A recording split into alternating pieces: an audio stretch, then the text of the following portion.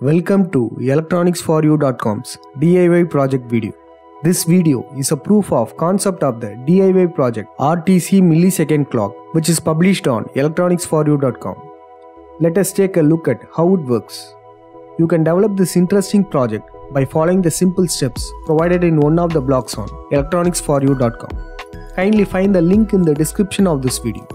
This project is a real-time clock that displays time, date, day and temperature on a TFT display.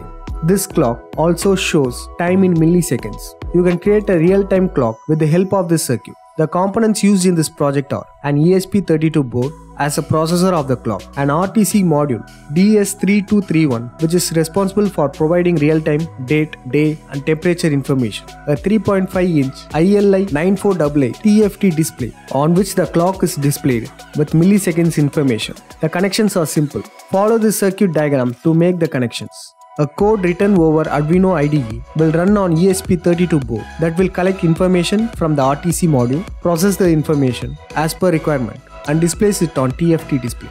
Let us see the demonstration of this project. This is our developed clock. You can see all the real-time information including milliseconds is displayed on the clock. The clock is showing current time in hours, minutes, seconds and milliseconds along with the date, day and temperature.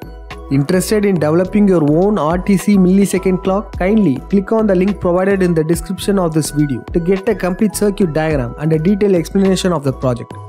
Do like, share and subscribe to our channel for more such DIY proof of concept videos. Thank you.